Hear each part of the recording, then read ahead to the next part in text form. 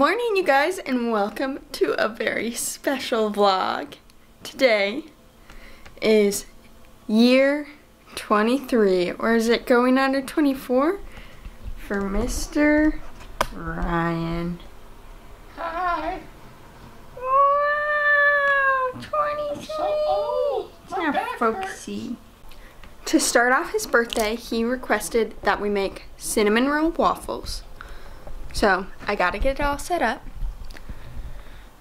You can just stay there. We got the waffle maker, three plates, and some immaculate cinnamon rolls because Ryan can eat these. So if you haven't done this, this is definitely definitely the easiest way to make cinnamon rolls. And we really like them because it's basically instant gratification. We don't have to wait 20 minutes to get the first cinnamon roll. Oh, I gotta plug this bad boy in. I'll be back. Whoa! Y'all didn't see that. It exploded on its own. Did That- you really just peel it off and it blasted off? I, Ryan, I just had it sitting here. And I went and plugged it oh. in. Oh. It really did it on its own. You can do this with any cinnamon rolls, but these ones are like the best. They actually are cinnamon rolls, and Ryan can eat them. So I always win instead of the like Pillsbury ones.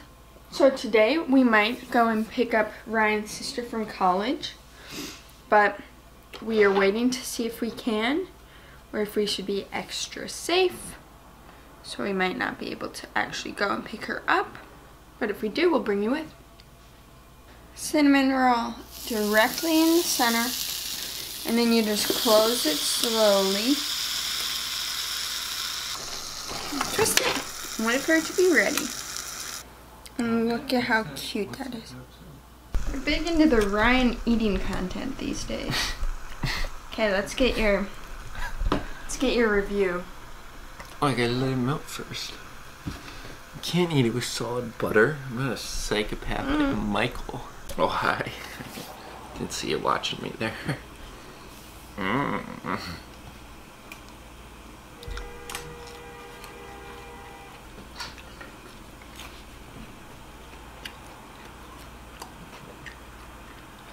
Oh yeah, always very good. I like that. Uh, pastry dough is very um I don't know stretchy. Like here, like look at this. When you like break it apart. Oh yeah. Oh. Just delicious. Ryan, what do you hope happens in year 23 of your life?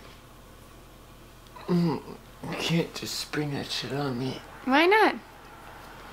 It's what you're supposed to do for birthdays. Um. I hope I get to travel somewhere and climb a big tree. Like, I don't know, like sequoia, redwood, mountain ash, something cool like that. We have mountain ash here, but they only get like 25 feet tall or 35 feet tall, and then they just die. Uh, probably not the same kind of mountain ash. And I'd like to buy a bus. Hmm, I like those goals. Probably. Probably. Probably a bus. It's a goal. Unless we unless we decide on something else. But yes, bus. Like a van, you mean? bus. Well, well, no, something else to live in. Oh, yeah. Oh, yeah. We need Bus, to get started on the bus soon. Yeah, we'd have to buy it like February, March. hmm I mean, as long as we had a bed in it, we'd be okay, I think. Well, this lease is up in August. August, so yeah, we'd have like all summer to work on it. Yeah. But when we start living it, it would be cold, so we'd have to have that lockdown for the insulation in our Yeah. wood fireplace and shit. Mm-hmm. Gonna have to bleep you, mister. Sorry. Yeah, let's get a bus and climb trees. We gotta find the perfect one. We saw the perfect one in um, I think Montana. a long one would be okay because we're not traveling in it. I mean, Yeah, yeah, okay. why yeah. wouldn't we? Yeah, if we're just living in it, then a normal size one. But we We're saw not planning like, on yeah the traveling. perfect camper one in Montana. I would guess it was 40 feet long, with probably a probably like a 25, 27 foot wheelbase. Mm-hmm. It because it was a cab over. Oh, it was so sick. Yeah. But yeah, it was like the perfect size if you were just like camping. But if you're Mhm. living out of it, it doesn't matter if we go with like a regular. What would it be like a 55 foot? We're planning on having Bus. it just be stationary in one place. Yeah. Yeah. Stationary, and then you know when we want to move, instead of packing up a moving truck, instead we just gotta Move make sure house. the engine's filled up on oil, check all the fluids, make sure all the fluids are good, and then just Reattach take the off. Do you have any other goals? Or just those two? Mm, I want to make something that other people buy, like a climbing tool. Mm-hmm. Right now, ooh, let me. Which brings us to the follow Tree Spice so you can follow him on that journey. Yeah, because I really I have been using hitch-based adjustment systems for a long time in tree climbing, but I would like to use a mechanical device. But I don't really like the mechanical devices that are available. I think there's a lot of cool ones, but not one that I like in particular. Probably the closest one to what I like is like the ART positioner, but it's still like even a little too fancy for me. So mm. it pains me to say this, but my favorite idea that I've seen is this Petzl adjust system that I have on this lanyard that I just made myself for my birthday. The only thing that's wrong with this is you can't release it under load. So I'm gonna climb with this for a while, but it's gonna be like climbing with a rope grab, which isn't always ideal. It's good for like a buck strap if you're only climbing spars, but not for me not as good when you're pruning and stuff. So I'll climb with it for a while, see how I like it. But I'd like to make something because I love this because it's just one piece of metal. That's it. It's just one solid piece of aluminum. So that's super cool. But I would prefer to add or change the way it's used a little bit to have a handle and maybe change some of the shape of it a little bit so that you can uh, have a bigger sweet spot when you're descending. Because if you release the load here it either comes out fast or not you only have like one degree of nice descent. But yeah make something like that. Or I also want to make um, I got these rigging rings for my uh, saddle that I want to have made so that that saddle's easier to use He Yeah, showed you in his last like that. video on the saddle, like his saddle review video. Yeah, he yeah. shows you I a had little 3D, model. model of the one that I want to use. hmm So go check Yeah. that out if you want to That'd be sweet. see what he wants to make. I like your goals, cutie. Thanks. What should we do for the rest of the day? We might just have to climb a tree. Yeah. Oh, just. So we're not gonna go to Moorhead anymore because I haven't gotten my test results back. But uh, I don't know. I'm gonna do some laundry and then we're gonna go for a walk. Uh, hopefully we'll go climb a tree when the laundry's all done. And we'll see. Maybe maybe I'll have that other rope spliced by then. But yeah, climb a tree, birthday tree. Birthday tree. Hi, Katie and Ryan's YouTube followers. My name is Josie. I'm here to tell you about the two best people I know Katie and Ryan. Today is Ryan's 23rd birthday. We are sitting here and remembering all of the years that he's grown and enjoyed his many allergies, and we're appreciating all of the times that he's climbed trees and fixed things. Um, on this day, we also remember Katie B and the support that she gives to Ryan and the food that she makes for him. Otherwise, he would simply eat bread only and maybe noodles all the time. Um, I would like to introduce myself now. My name is Josie. I am the godmother to their unborn child um, and the godfather as well. We're a, a two in one deal around here, and I feel honored to be in the YouTube. Thank you. Goodbye. We just got some birthday lunch. Minnesota is on lockdown again, so restaurants and bars aren't open for the inside. I think starting tomorrow. Um, Tonight. Tonight. So we got it to go to be extra safe. We did. We had the same thing last night. I got this burger last night, and Ryan got those fries. And I ate a whole thing of pasta before I got this, and I still almost finished the one last night. Yeah, and it's a lot of fries. Family size, baby. Yeah, Love me a restaurant with a family size order of fries. they're so good though. Culver's, Bulldog, and at the state fair where they have the ice cream bucket size of fries. So if you're ever in Duluth Bulldog's a really good place to eat. Um, it's kind of a weird place. You know, you wouldn't expect much from it, but I would say it's a fan favorite from families. Mm-hmm. Um, or else at Sara's Table is really good. We're gonna go there to drop off my compost. Pizza Luce. There's a lot of good lot. places to eat. Yep. They got it last night. I saw Sophia's story. I was just doing a quick tree inventory and I didn't see a lot of stuff that I really super liked. I think the only thing that was gonna be fun was gonna be like birch trees. So I think we'll go just to the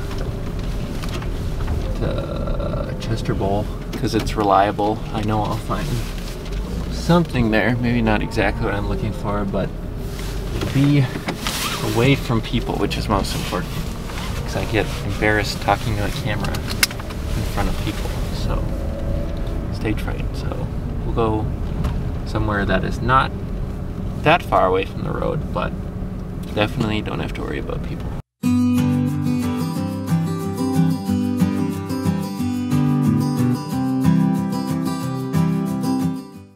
Ryan's gonna go scout out some trees. This is his birthday adventure. He mentioned it before that his test results haven't been back and his test results for COVID.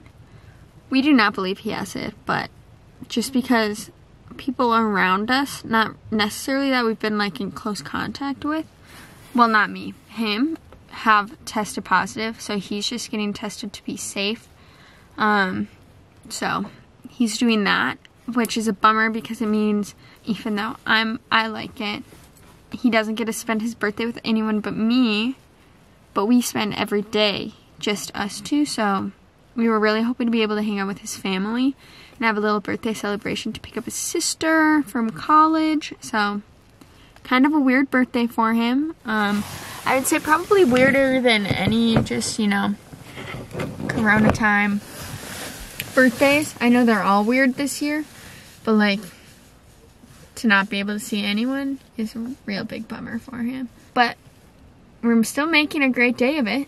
We've had fun so far, just lounging around our house, and I finished editing a video, which is really good. I think he's gonna edit a video later today, and yep, we're gonna climb a tree, which is gonna be fun. It's kind of chilly out, but he's been wanting to do this for a really long time. So it's like, your birthday is the day that we will do that if we can't see anyone else and go pick up your sister.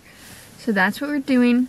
Um, and let us know if you like the quality from this camera a lot better. We definitely do. It's a lot easier filming on your own. I filmed a couple of videos that will go up after this one that just make it so much easier to actually film when you're the only person filming because I don't always have Ryan to help me. I rarely actually do.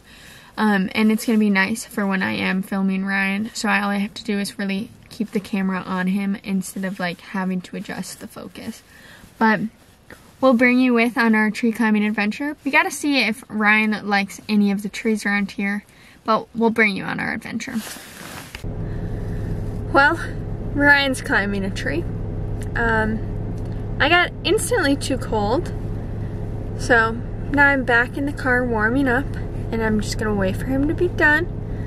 Um, but yeah, I feel bad because I said I'd climb a tree with him. But my hands and feet and body just cannot take the cold whatsoever. Sorry, Ryan, but I think he's gonna have fun um, climbing on his own, and I can insert some GoPro clips if he gets some that aren't for his other video, and those will be right here.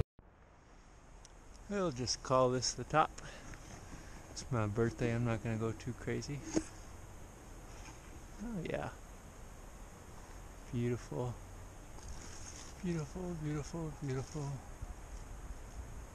Actually, I'll just set my line and we'll go just a teeny bit higher.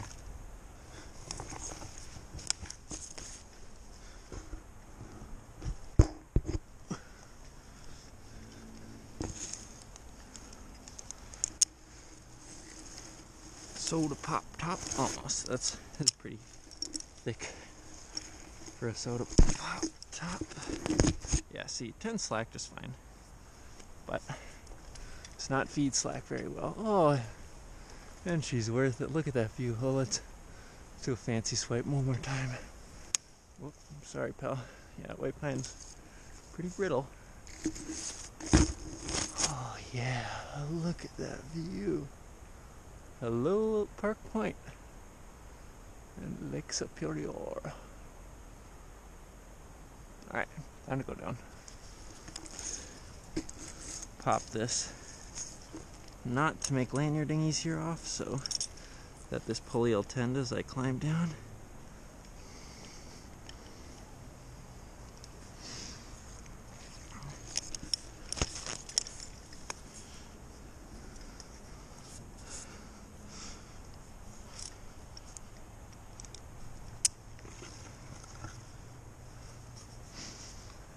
White pine, you smell so lovely. Look at that. Beautiful.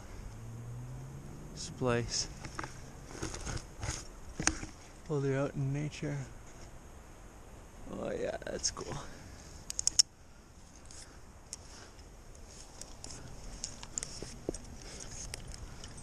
It's kind of self-tending. Worked better than I thought it would.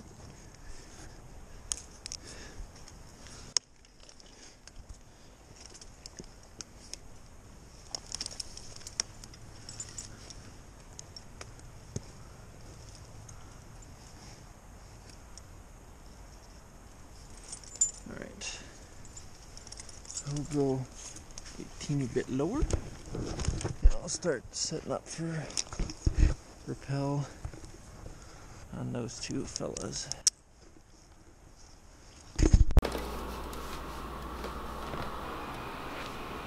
Happy birthday! Thank you. Hmm. it's just what I wanted. You should have melted like a candle to the top. Well, Ryan is playing video games, his fun birthday activity. other than other than climbing a tree. I'm gonna work on cutting out this print um, that I've made, and it's this really fun Natty Parks print, and I had gotten it printed through a service, and it's like way more desaturated when I got it printed for me than when I print it myself. Um, so if anyone is watching this and you want to get one of these prints, one, you can check out my either my Instagram at Katie Berth or my art Instagram, which I will put on the screen. I do not remember the name of it, but it is going to be more desaturated than what you see just because this is very blue and orange. But I'm going to cut it up right now and get it to its 8 by 10 size. And yeah, I can show you also how I package it for the mail and kind of just what I use. And if anyone has more sustainable and eco-friendly ways of packaging than I do, um, please let me know. Right now I'm just using stuff that I found at Walgreens, but when I went to Office Depot, I couldn't find anything better really. So that's what I'm doing for now, but I also want it to be budget friendly so I can keep having my prints have free shipping because no one likes to pay for shipping.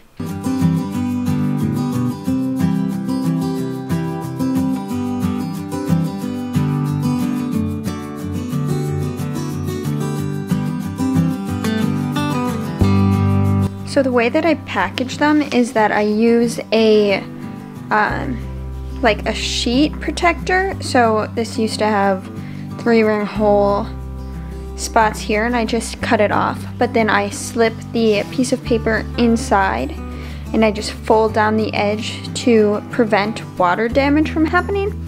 Um, I don't think that it's the perfect self, but I definitely think that it helps prevent it. And then I slip it inside a just a clasp en envelope. This way, this is pretty recyclable. I know that the sleeve is not, but I also think that if someone wanted to just hang up their print without putting holes in it, they could just keep it in the sleeve and tape or pin that to the wall and have it hang there. I think that would look pretty cool. Again, if anyone has a more sustainable way, specifically for the sleeve, I would love to know. Just put that in the comments so I, I can know. Birthday boy wants some country fried potatoes. I'll take you through how we make them.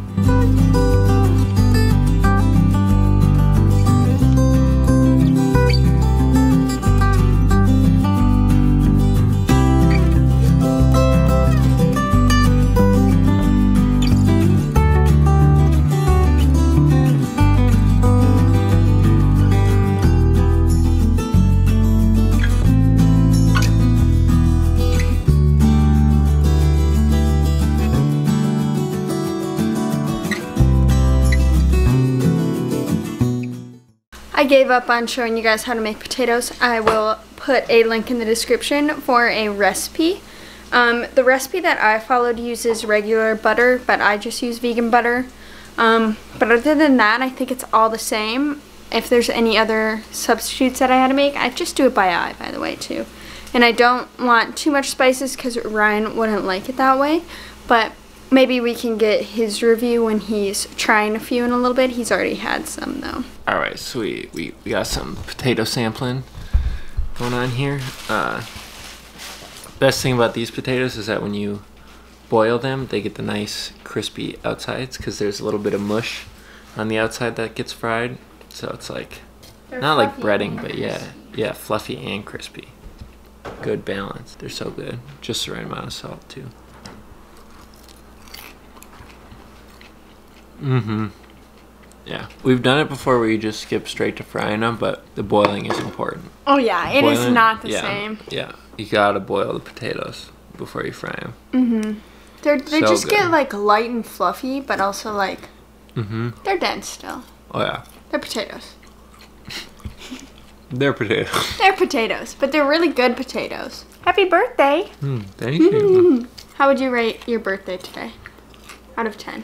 I don't know, really good. Oh, that's a good number. 10 out of 10? Yeah. 10 out of 10, that's a good day. Well, I think we're gonna go over to Ryan's parents' house to eat cake that his mom made. His mom is like the best cook Oh, yeah. ever, so Chocolate mousse, baby. yeah, we're excited for that. So we're gonna end the video here. Thank you guys for watching. Make sure that you give this video a thumbs up and subscribe to our channel and go subscribe to Ryan's channel. And we'll see you next time. Bye! Bye.